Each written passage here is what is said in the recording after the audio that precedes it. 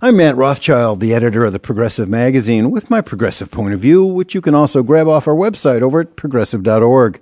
Mitt Romney's not only a vulture capitalist, which, by the way, was my Halloween costume, he's also a disaster capitalist, straight out of Naomi Klein's book. Just look at his comment again on FEMA during the Republican primaries.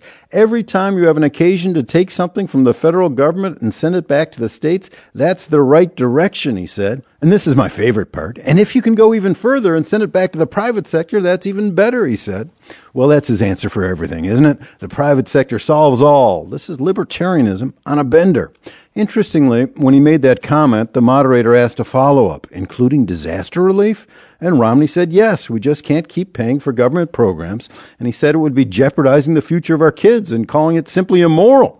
But what's simply immoral is letting families and communities drown in disasters that only the federal government has the resources to mitigate. No private company could provide instant disaster relief to the people of New Jersey and New York. No private company could coordinate all that needs to be done to make sure that people aren't dying in their homes. We need government for that and for a lot of other things too. But Romney and Ryan don't want any of it. All they want is for private companies to cash in.